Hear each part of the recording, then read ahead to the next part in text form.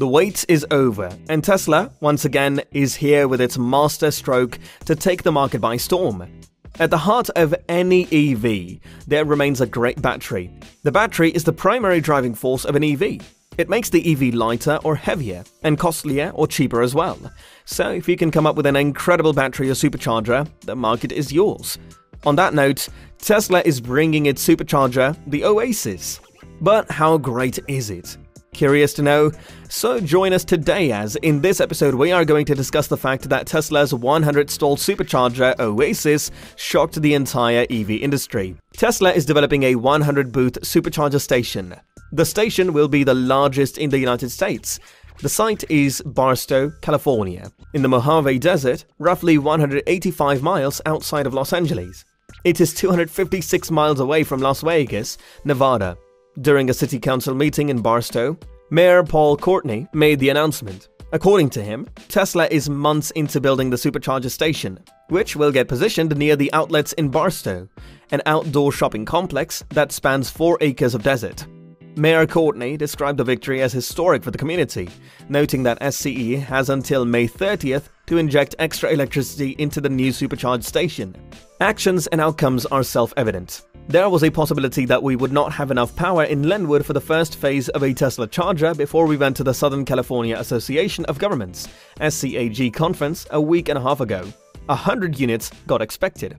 Right here is the largest charging station in the United States. There is a chance you won't have enough electricity for step 1. To cut a long story short, we received an obligation from Edison to have adequate power for phase 1 of the Tesla charging stations to operate on Memorial Day. These photographs were uploaded on Twitter by Marco P. Tesla in February. He went on to say that, based on the size of the lot, he estimated that there would be roughly 60 to 80 stalls. We now know that it is a 100 stall charging station. According to the Daily News, the current biggest charging station in the United States is a 70 stall facility at the outlets at Tejon in the San Joaquin Valley. Shenzhen, China, has the world's largest charging station for electric automobiles with 637 spaces. The 100-acre Tesla supercharger station will be built on 4 acres of desert between the Holiday Inn Express and Suites Barstow and the east barrier of I-15, according to the story. Vice President Harris has unveiled an EV charging action plan to help President Biden achieve his goal of constructing a nationwide network of 500,000 EV chargers. The US Departments of Transportation and Energy have launched a joint office that will assist in the development of a nationwide network of electric car chargers. The two agencies also announced that the new National Electric Vehicle Infrastructure (NEVI) initiative will provide roughly $5 billion over the next five years. It would be beneficial to our country and the adoption of electric vehicles. Tesla is a powerful ally in the effort to increase electric vehicle charging infrastructure. The 100-seat supercharger is undoubtedly only a modest component of Tesla's charging network expansion. I recall some of the complaints about the need to expand its supercharger network. The initiatives of Tesla, on the other hand, have established it as a pioneer in electric charging, and it plans to expand its network of non-Tesla electric vehicles in the future. Tesla started doing this in the Netherlands and recently expanded its trial program to eight European nations. Tesla has stated that the pilot program will get expanded to include other nations. At the moment, it starts small so that the corporation can assess the experience and keep track of traffic. Tesla is also considering input before expanding further. Before exposing its supercharger network to non-Tesla electric cars, Tesla must ensure that it can manage the capacity of not only its electric cars, but all electric automobiles. Tesla would have to grow its supercharger network much further for this to happen. That implies that there will be more stations. Tesla wants to build more supercharged stations in Baton Rouge, Ruston, Natchitoches, and New Orleans in Louisiana. Ruston, which is located on I-20 between Monroe and Shreveport, would be great for recharging if driving between Jackson, MS, and Shreveport, LA, is a vital location for a supercharger. Natchitoches, Louisiana, is a popular tourist site with stunning Christmas lights. A supercharger would make travel between southern and northern Louisiana more convenient. Tesla has deployed several destination chargers around the state. According to CNBC in 2017, Tesla would need to invest $8 billion in its supercharger network to make recharging a car as simple as filling a petrol tank. A UBS study got cited in the story. From today's vantage point, we can see that Tesla is more than capable of handling this. Tesla Incorporated pioneered this 480 volt direct current fast charging technology for electric vehicles. Six supercharger stations got launched on September 24, 2012, as part of the supercharger network. As of February 18, 2021, Tesla has approximately 30,000 superchargers in 2,564 locations throughout the world. In North America, there are 1,101 stations, 592 in Europe, and 498 in Asia Pacific. The stalls of superchargers include a connection that may deliver electrical power of up to 72 kilowatts, 150 kilowatts, or 250 kilowatts. The Tesla Model S was the first vehicle to be able to connect to the network, and it was followed by the Tesla Model X, Tesla Model 3, and Tesla Model Y. Some Tesla cars come with unlimited supercharging, whereas others come with a 100 to 400 kilowatt hour per year, a single 100 to 400 kilowatt hour credit, or monetary credit. Any charges got automatically charged to the Tesla account to which the car is linked.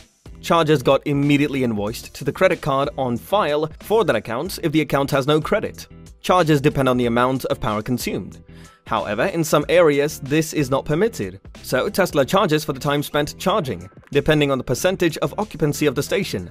An idle fee may get imposed for staying plugged into the supercharger after charging is complete. Tesla has made attempts to direct supercharger usage toward longer routes. Tesla prohibited business, ride-hailing, taxi cabs, and government use of the public supercharger network in late 2017, demanding users pay on a per-use basis. Tesla also provides Tesla destination chargers, which got positioned in areas where a vehicle could stop for purposes other than charging, such as hotels, restaurants, and shopping malls.